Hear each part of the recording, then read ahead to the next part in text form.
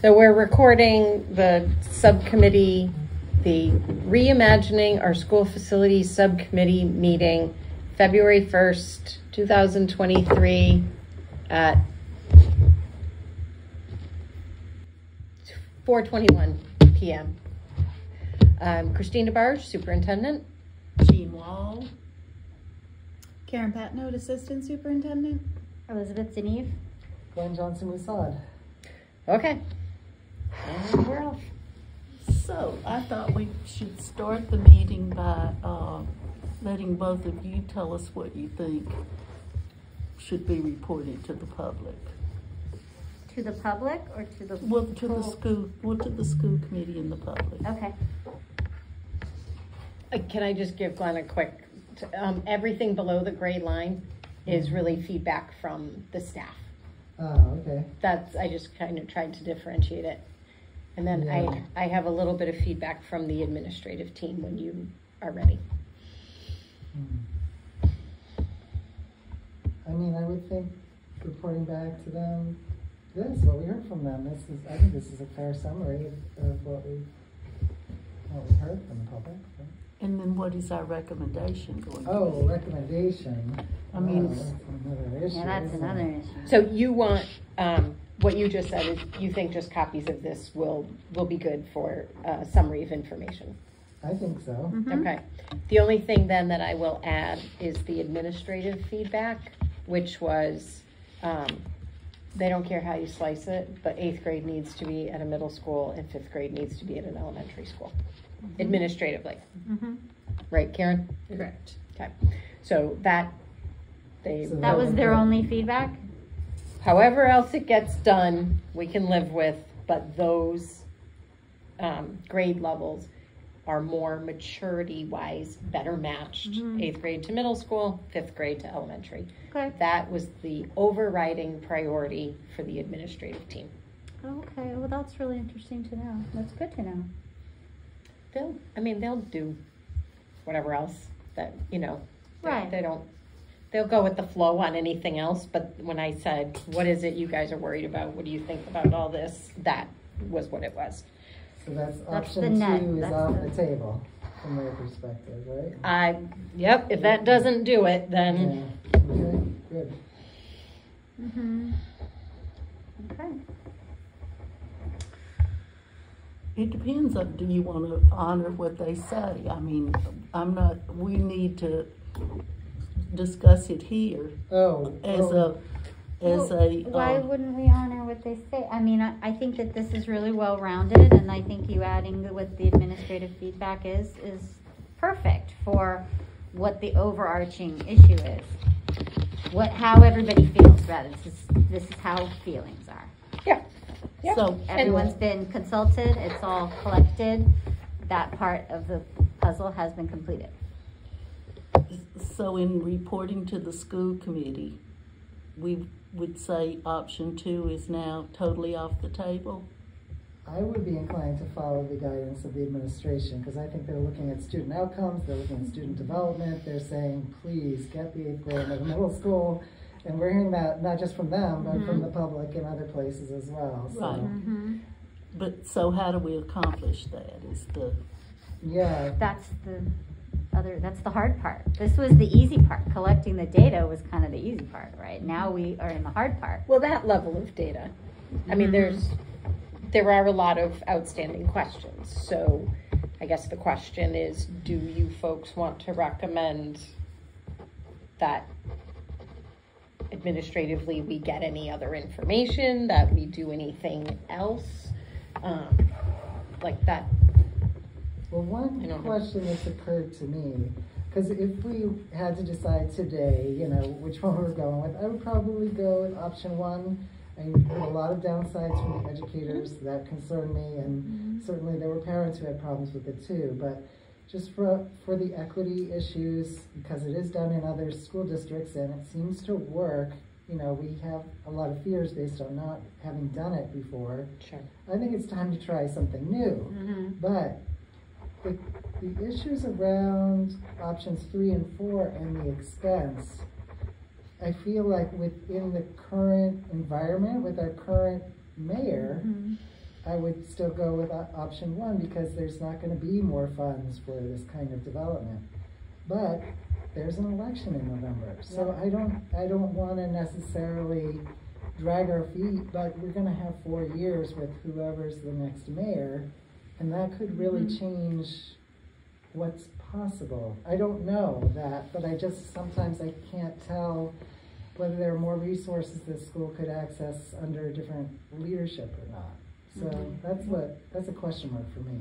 Well, I have served now on three building committees, Mm-hmm. so I know what's involved. If, if you believe that I know what's involved, Yeah. I do, yeah. Uh, and it's a very long, drawn out process. Yeah. It will not take care of the immediate problem Yeah, for many, many years because a committee has to be formed. Then you have to find a project manager. Then you have to find an architect. We have three buildings that would have to be remodeled or four. Uh, and it's, it's just more, it- it will take a long time to do it. My recommendation would be that we recommend that a new elementary school be put on the town projected uh, capital improvements program in 10 years. Because by then, the high school will have been paid for, right? Isn't that? And, you know, we would have the time to form a committee, figure out where it would go, design it, et cetera, et cetera. I mean, would that, Well, yeah, but then, I mean, I totally agree with Glenn. And I felt like when the educators were speaking about option one, that they really didn't, they weren't excited about working in this environment, whatever environment option one would create. And so mm-hmm. I feel like I definitely don't think that, I mean, I don't want to add to any stress or, you know, cause staffing problems by pushing forward on option one. I would worry that educators would leave. I have to share one thing around that. Mm-hmm. Um, we heard that from a very small percentage of people, Mm-hmm.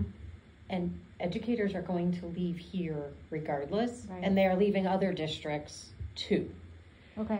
So I, I think hearing a level of anxiety from them is certainly something that we would want to be responsive to. I completely uh, like agree and respect that. We want to address anxiety for them about whatever model is identified. Mhm. Um, but I also don't want to say if you pick option three, let, look, for example, Mhm. we pick, pick option three, go through all of the construction stuff, go through all of that time and money, that at the end of that whole process, the people who have told you that they're gonna quit will still be here. Mm-hmm. and Yeah. But I, I hear I'm anxiety, you're- you know, I'm glad that you're speaking to that. 'cause- well, And, and the other part of, let's say we're going to redo, uh, Four Corners. Cause it, it seems the most cramped of all of the schools to, to me when we went on the tour. The children there would have to be put somewhere else. Mhm. I mean, it's not just you go in and Yeah. bring in strange construction workers or do it over a summer. Right. I mean, Right. I'm just saying that the construction part is fine, but I don't see any reason to spend the money we would have to spend on these old schools. Mhm. Let's think big plan and think build an ele- new elementary school because any work that we do on the schools means that we have to bring everything up to date, which is electricity, handicap accessibility. I mean, it's just beyond the stuff that you can imagine that will kick in if you haven't been involved in these old Mhm. buildings. I hear you and I completely understand, but I worry that it, that's a hard pill for the public to swallow because they'll say things like, what about all these schools we already have? What about all these, what's going to happen to those buildings? What about all the money that we've poured into X, Y, and Z? You know what I mean? They're going to come at it from that angle. So I don't know is, I can't imagine that a 10 year plan for a new elementary school would be something that, I'm not, I'm not saying this is my personal feeling, I'm just playing devil's advocate.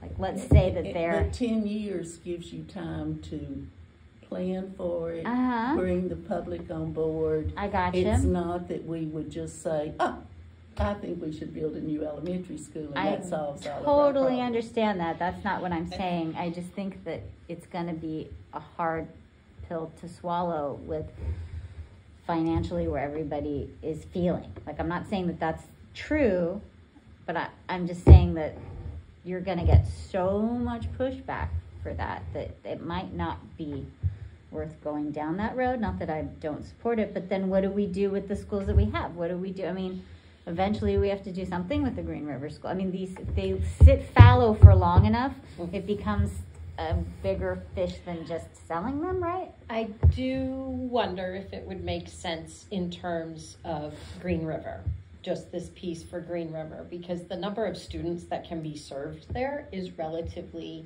small. Right, that's what you said. Right, I think it was like hundred and fifty, maybe, I'm Mhm. not looking at the number that they said, but maybe if the committee asked me to look into what the next steps would be around Green River and what the options are, maybe that would be helpful.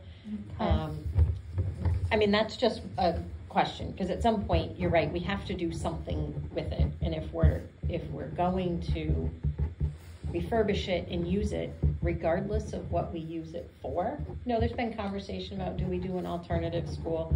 Well, if we do, there's a ton of paper and programming and all that, but first we need heat.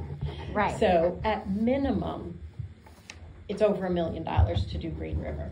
So we still, even if we want to go that way, we still come up against the bonding issues that um, Roxanne referenced. We- Like, we still come up against all those things.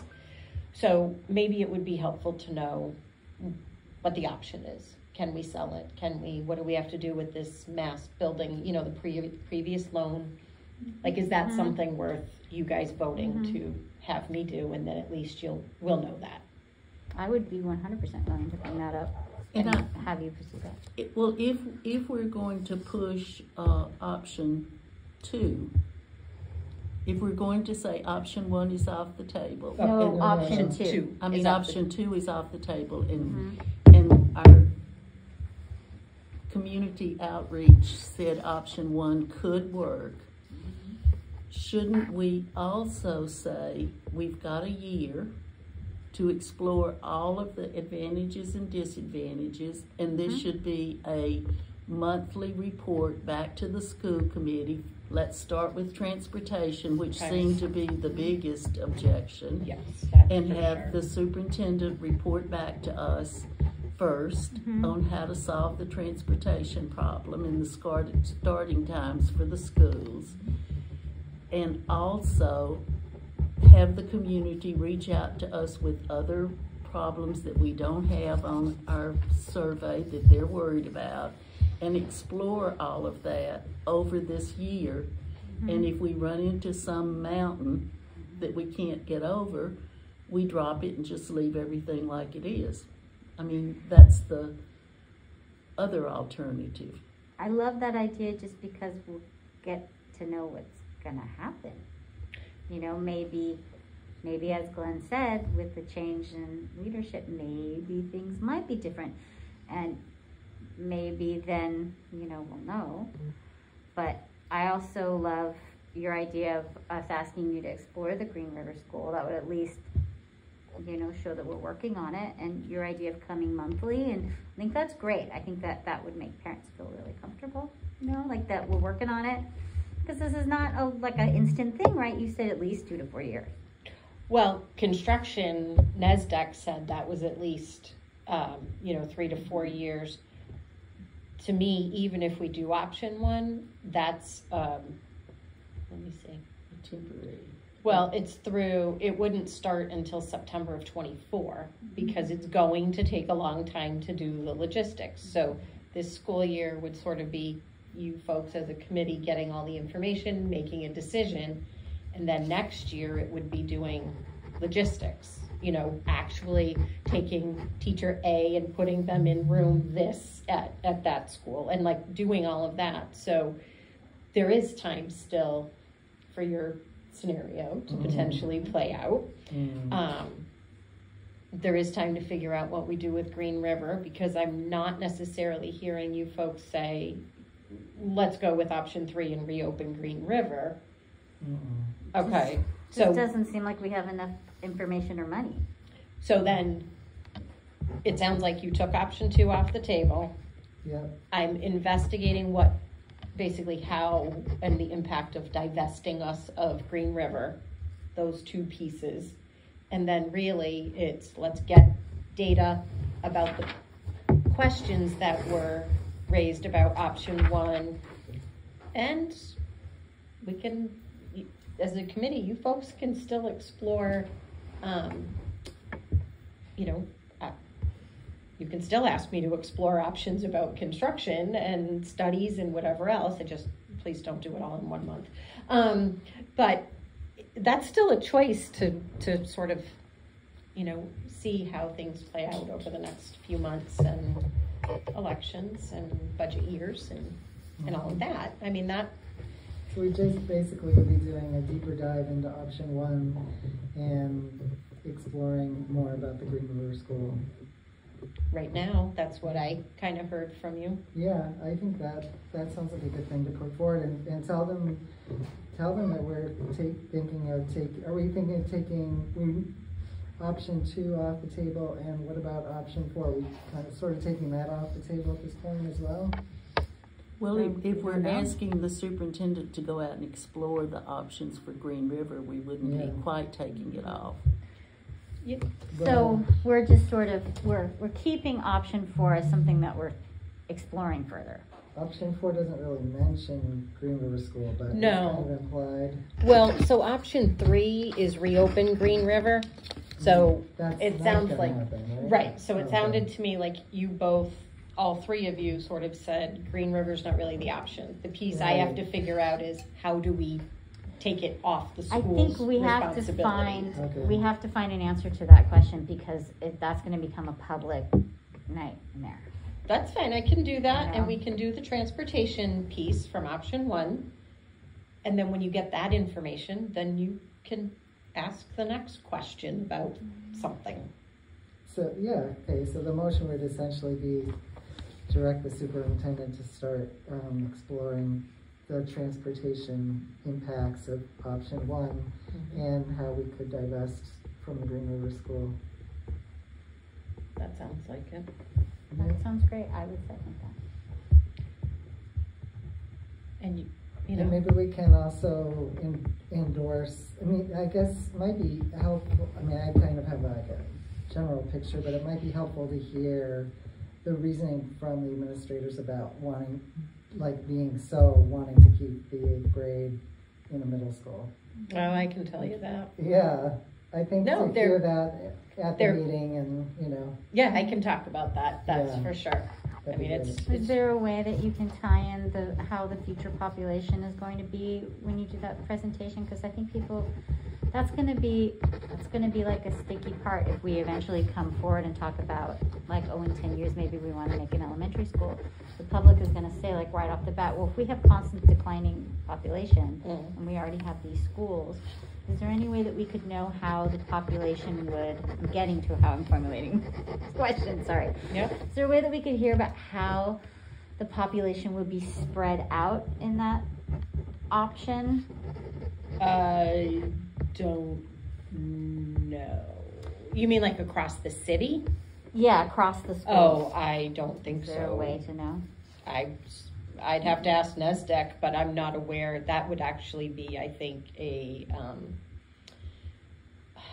that would be like a planning committee kind of conversation, talking about where they're looking at residential development over the next ten years, if they are, where, Mhm. you know, things like that. I think that would be something to explore if the committee gets to the point where the option of a new elementary school is actually being entertained. Oh, no, no, I mean, I mean if we're talking about option three or four, if we're doing K through five at each of the four elementary schools. I mean, how is that gonna break down population wise? Well, the other part is how does it work for equity wise? Right. I mean, we, well, The we don't really know at, at this point what, oh, if we're doing K to five? Yeah, that's what I'm asking. Not where we would build it or like what, I, I mean like, So if we do construction at each of the schools, We don't have, we don't have equity. not particularly, no. What would happen, I think, is the same thing in option two, where I draw the lines for each school in a different way. So there's Leyden Woods right now is um, routed to go to um, Newton. Yeah, I knew that was Newton, but I'm thinking is is No, it goes to federal. Sorry, It goes That's to what- federal, yes. right? So you confirmed the wrong I, thing. I did. I know. I had to think about that. Okay, They so- go to federal. Yes. So Leyden Woods is routed to go to federal. Mhm. So if we reroute and Leyden Woods goes to Four Corners, which is fine, mm-hmm. then I have to identify which neighborhood that currently goes to Four Corners is closer to federal geographically and reroute them. I Oh, I still see. have to redraw lines, Yeah. even with option three or four. I still have to do that. Okay, I'm sorry, I didn't realize that you had to do that. it's okay. I think Backing that up, erase my past question. N- No, I but got I it. think it would, option four, three or four, although I think three less, but anyway. Option four, if we do some construction at each building, it addresses some of the space issues, like we'd have more space for our, um, specials, we'd have more space for our intervention staff, we'd have an appropriate um, appropriately accessible nurse's office at Four Corners and at Federal. It addresses those issues for sure. And it could address equity issues, but I would still have to redraw lines. Right, you would redraw the lines and presumably you would be doing so with an eye towards equity, you know, with our updated picture of equity that they didn't have Yeah. the last time they redrew the lines maybe. Yeah.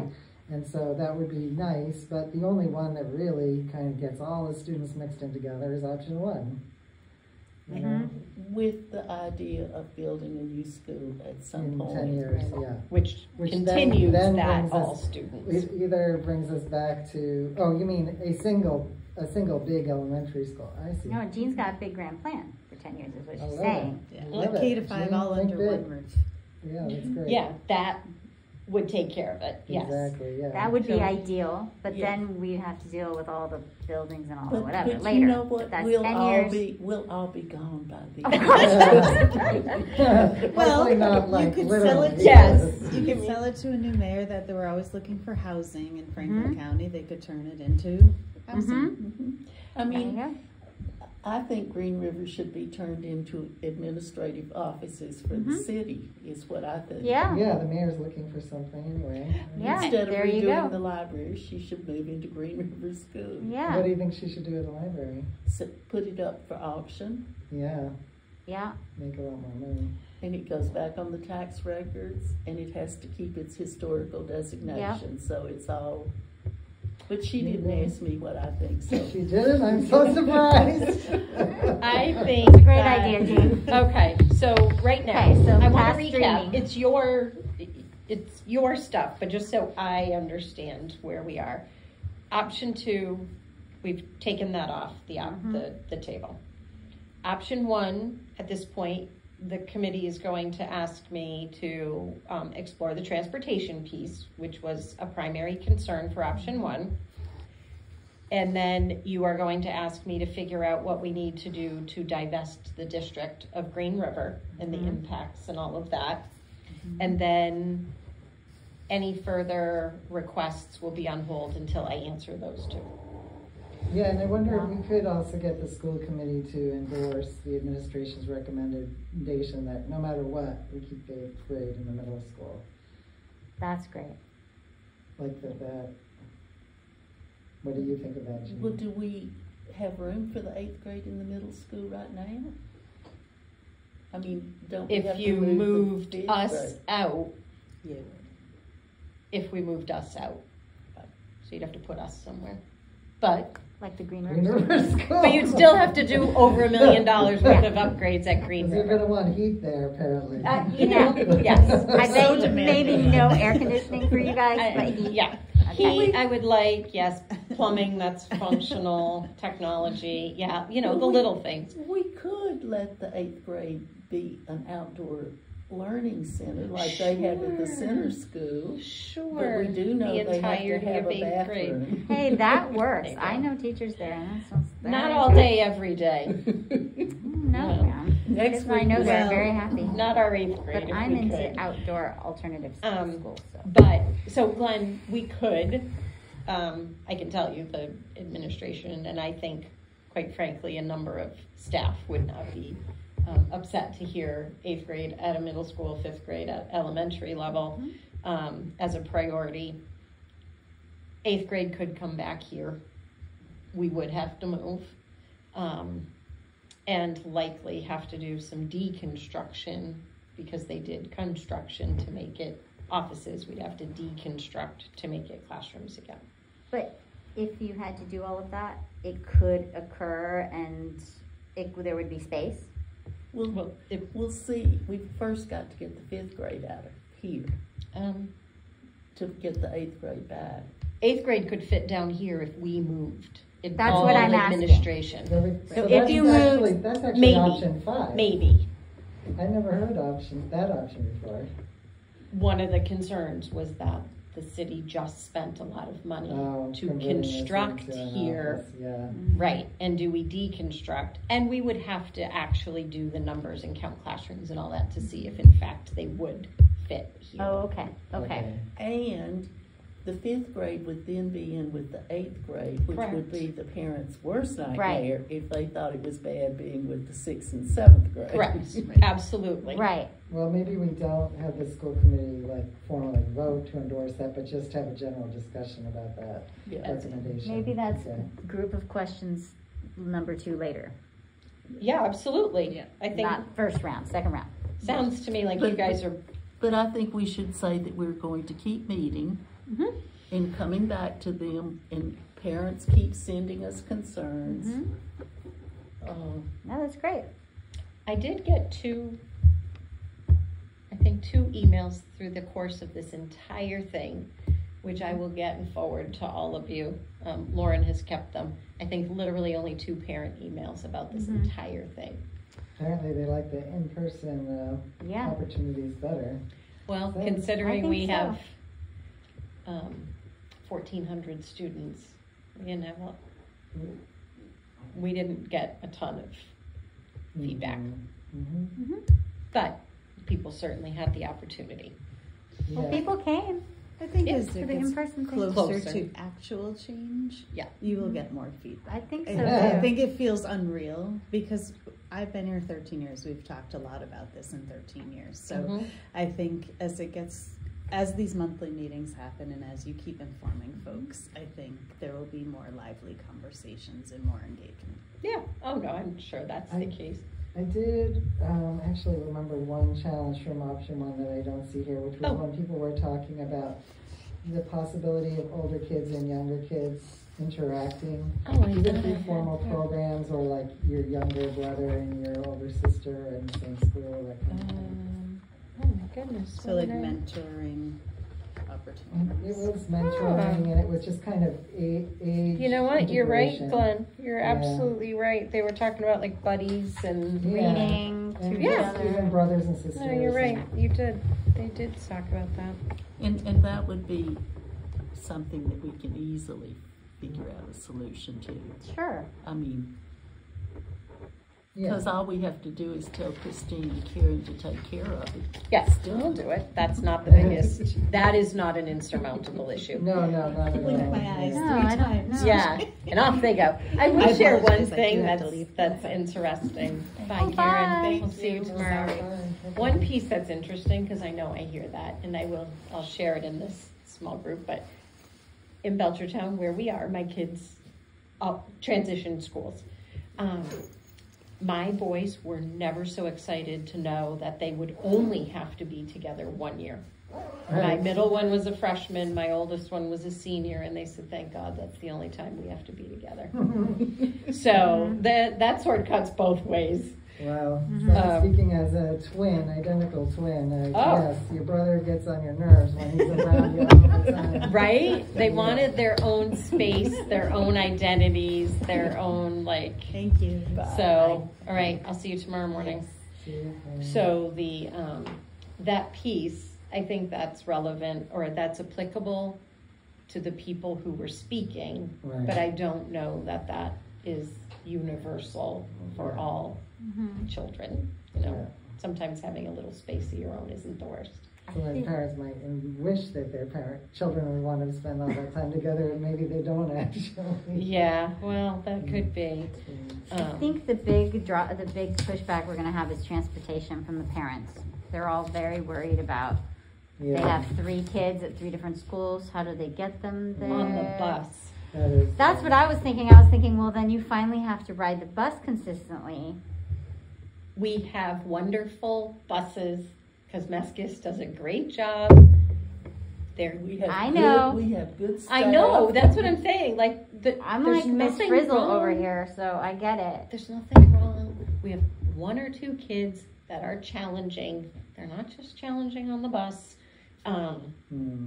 but really, the buses are a very viable option. And they're not full. They are not. They are full. not full. Like my bus is never full, and I'm always like, where are these kids? Like, why aren't they get not? They are you know? not full, but we can't reduce the runs because of time. right. So I'm just I'm, Yeah, I'm curious how this is gonna. Yeah, there's totally room. So I'm curious Yep. how it's gonna Yep. shake Jake. out and and what the stagger times are gonna be. Yeah, Jake has started working on it, so I'm sure by the March meeting we'll have something to share about transportation. Yeah. Even by the time we reconvene as a subcommittee, we'll have something. It something. might even make the buses nicer, to be honest with you. You mean with more kids on them? Well, with more kids, but with grades separated. I mean, Well, it would com- be all the elementary schools would be on one bus, wouldn't they? Well, so the options that, the, the, the factors that I asked Jake to talk about. How do we do it if we keep the start times? How do we do it if we stagger start times? And then do we do it by school runs or do we do it by neighborhood? So if it was, you're on bus seven and you're the Mhm. K one run, you'd have to go all the way around town. mhm. or you and somebody else would go all the way around town. And then another two buses would go all the way around town for grades two and 3 Mhm. and four and five. Or you could be this neighborhood and you pick up K to five. Is Yeah. it So harder for he's the got a- kids to know when to get off the bus, though? I mean, I guess they learn which Just school. shove 'em. Just, Yeah. They know. No, because again, not to keep bringing up Belchertown, but I've lived through this. yeah. The elementary kids all got picked up at one time, even though there Mhm. were three elementary schools. Yeah. and they get to the school and they the bus drivers just kind of say okay everybody kindergarten and first grade and Oh, they have staff outside and Yeah. worst case one of mine didn't get off a bus at some point and they take a little ride to the other elementary schools and then they get brought back Exactly. and they get off and they said they had an adventure and then they go to class Okay. so it and then middle school and high school take Mhm. the same bus runs Mhm. in Belchertown and they know when to get off And do they all get picked up at the front door? Or do they all get No. picked up at a, bus stop see, we pick them up at the front door. Like I literally pull up to kids' front doors and pick them up. Like individually all the time. Like I will stop twenty-five times on one street to pick up each kid. I can't Is even it a get main road though? main road, side road, country club road. I can't even get them to get on the same bus if they're fifteen feet away from each other. So I'm Oh, just this is curious the if First time I'm hearing that. Oh, really? Yep. I'm just curious No. Belchertown, with your experience, Bus stops. bus stop, bus stops. Hello, bus. I love it. Schlep your, schlep your body to a bus stop. Mhm. Main roads are a little different. You Mhm. know, Route 181, that's a main road in town. The kids who get picked up, picked up there, the houses are generally far enough apart where it's, you know, Mhm. individual stops. I live in a neighborhood with a main road in and then multiple side streets off, Mhm. and there are three pickup spots. Yeah. So advocate for bus stops, ma'am. You're here with the I- right I- person. In, on a main road, I wouldn't necessarily do bus stops on Federal Street, but Mhm. on some of the side streets. Mhm. Okay, good Why to does know. your clock say seven o'clock? It Oh, doesn't yeah. work. Uh, Oh, you can sit here and it goes Yeah, seven, eight, nine, sometimes- ten, eleven, yeah. twelve. It'll go, woo, it'll start Oh, going crazy. wow. Oh my gosh. Well, at la, at the end of last year, our maintenance budget was expended and that was not an emergency, so I didn't get my, I didn't ask to get my clock fixed. Yeah.